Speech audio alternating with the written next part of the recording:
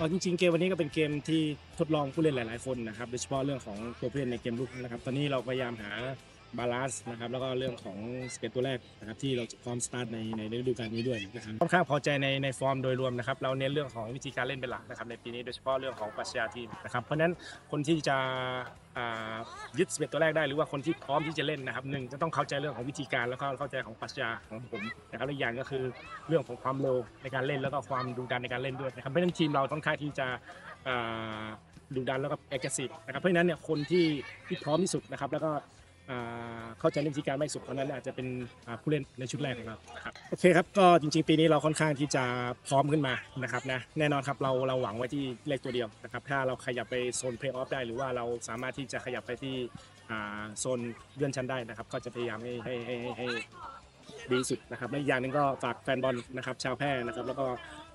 แฟนบอลไม่ว่าจะเป็นที่บ้านเองหรือว่าอยู่ที่นี่เองเข้ามาเชียร์ที่สนามนะครับห้วยมาเรานะครับแล้วก็เชิญชวนนะครับในวันที่ 10 นะครับมาเชียร์กันที่สนามครับผม